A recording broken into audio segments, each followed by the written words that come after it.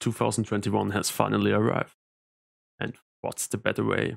You can start coding, you can get motivated, and even you have a new chance to get famous on Instagram.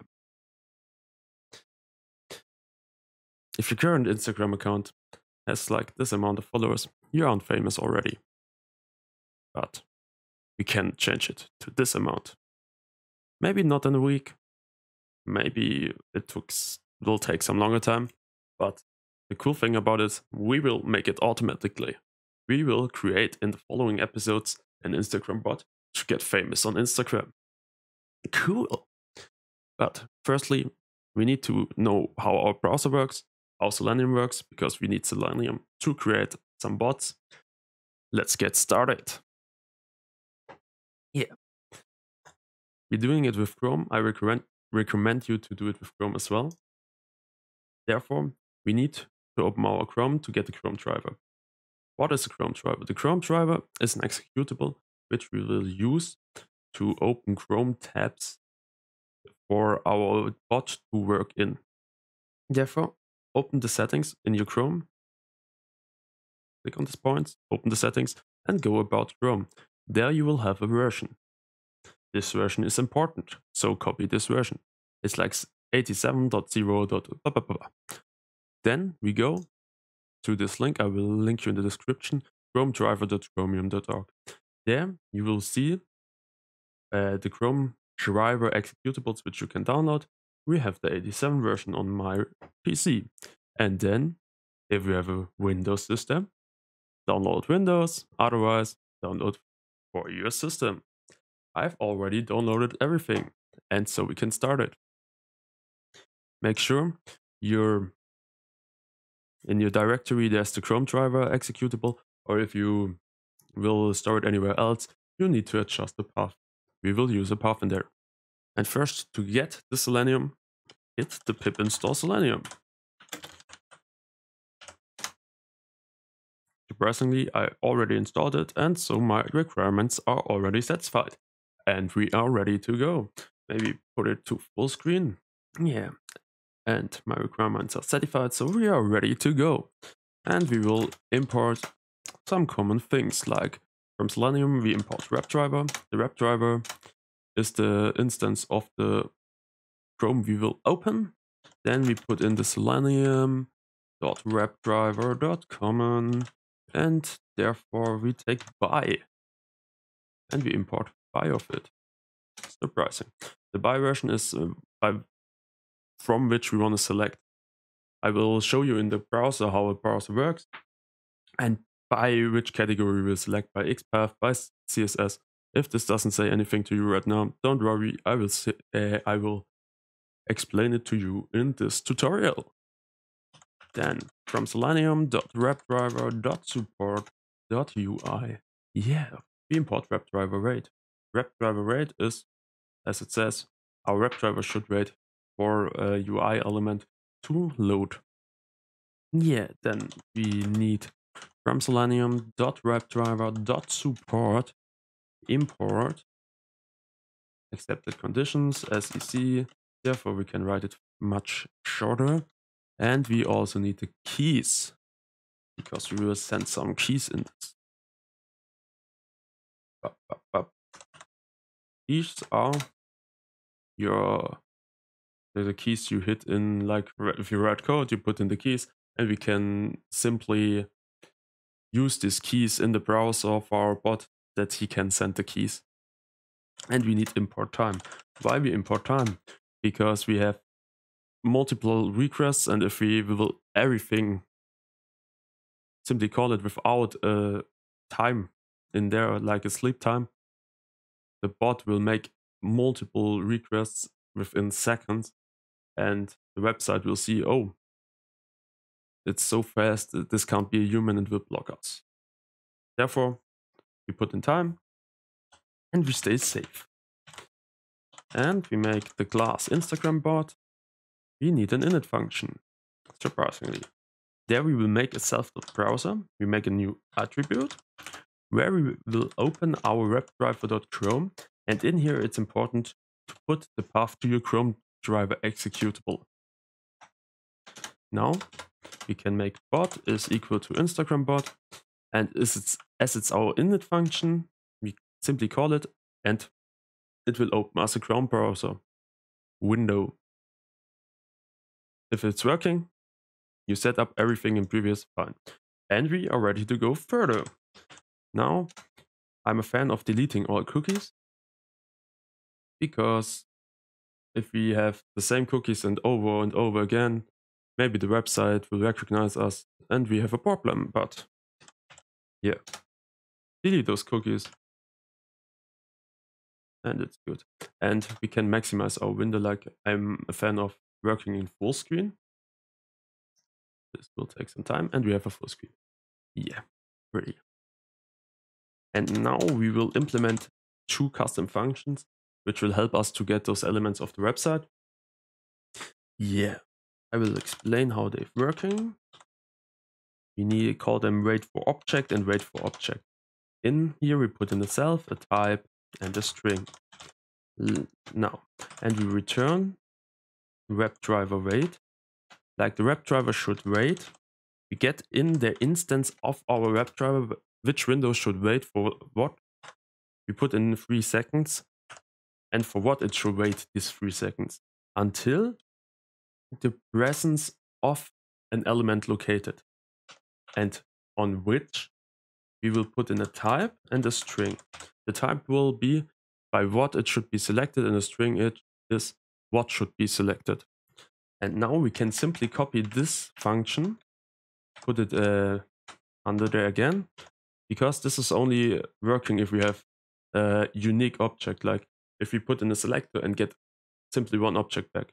But there's a possibility like classes which can give us back multiple um, multiple elements and therefore we need to make it working for multiple elements. And now here is important. We had the presence of element located and now we need presence of all elements located. And as you see here, we put in a tuple with type and string. This will help us later, but we need initially implement them. I normally implement them anyway anytime I work with Selenium because these functions will make it much more understandable how we are going on. Yeah, and then we make a simple get website to see that we can do something. And in here we would, I can simply put in an URL and we can put in self.browser.get and get our website. I've prepared an example like uh, bot.get website and we go simply to Amazon. Uh, where's the link? I put it in here like this. Put in the link and now see what's happening. We open our new uh, Chrome browser window it's getting in full size and we're going to Amazon. Now you see, we have the cookies in here. Let's simply accept these cookies. That's the first step. It's looking like a button. And now to understand how the website is working, right click in your browser, click on this inspect. Sorry, because I have it in German. It's like uh, Control Shift L or right click inspect. Then you see everything of the website. Let's maybe get this out of here to have a full screen what is going. And not like this. You don't see the other thing. But here, if we click on this, we see everything we hover about is we get the HTML code of it. And now we know websites are built in with HTML and in here you see the whole HTML of the website like here is this here is the script. In there you see the script. Here you have your body. And and, and. there's a div etc etc and now we want to locate this element. If we click on it like this we see oh it's an input and it has an id id always a good thing because it's unique. That we can simply double click on it copy the id out of here close this browser and now we want to accept those cookies. How do we do that? We take our browser, uh, not our browser, I mean our first created uh, function and we make sure it's wait for object because we have a unique one. And in here, we put in by CSS selector. That we have an ID. ID are in CSS selected with an hashtag. So we put in a hashtag and after that we put in the ID we copied from there. And we get this to a variable. I love it to put it in a variable because in the next window we can click it. Now let's have a look. If it's working fine, the cookies should be removed. Let's have a look. And the cookies are under there and are away. No, we can simply look for something in Amazon. Therefore, we need to put in here something writing in it here and search for it. Can inspect again. And now we're looking for this input box.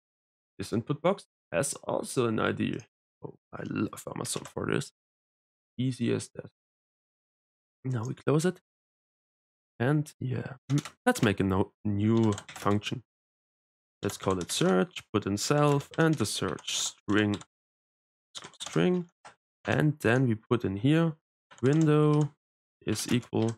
I always override this variable because for me everything is the window. And here, it's just fine. We also have an idea, like we put in a hashtag, put in this, and this is our window. And now we don't want to click the input. We want to send some keys like window dot send keys. Yeah. Dot send underscore keys like this.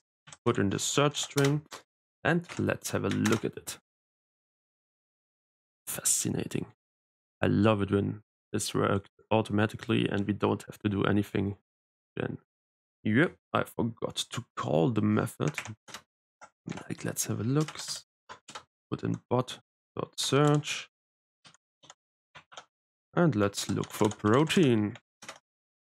It's always cool to look for protein. Protein. Yeah. And is it working? Yeah, we have protein in there. And how do you search for it? We simply put in an enter. Now we don't want to do it manually. So we get it in here. Then we put the window and send other keys. And the keys are keys.enter because with the keys we can send every key we have on our keyboard. And in here we make a time.sleep because you will put in the search string and if you put no time.sleep, it will in a millisecond or something like this execute the enter. And this is I think for human it's much too fast. So we will make some time dot sleeps because the cool bots are always compared to humans. We must think how can he how uses a human this website? And if we make our bot working as this, then no website will identify, oh, we are doing it with a bot and yeah, like this. And now we want to simply access the first element to see that we can go to it. And hmm, let's take, oops, not like this. We need the left one, the left one to hover through it, click on it, and there we have a class. Cool to see. Now, if we uh, hover through it and press Control F, we see, oh, there are 65 matches. So every of this container in here has the same class. But now that's cool thing to mention. Now we see how the classes work. Now we make sure we make self dot wait for objects because we have multiple objects with the same CSS selector. And now it's a class. Class are always called with a point. Copy it in here. And we need to get rid of the spacing because the spacing means in the browser it has multiple classes. But if you call multiple classes with a CSS selector, we can get rid of the spacing and put a point instead here. Point, rid of the spacing. And we have now should have in there 65 objects. Yeah. And now we can simply access the first object with the zero in the curly um in the norm in the array bracket. And then we simply click it. Because if we click it, we get to this beautiful product.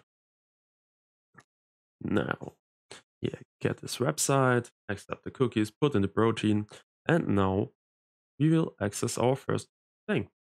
And it's easy like that.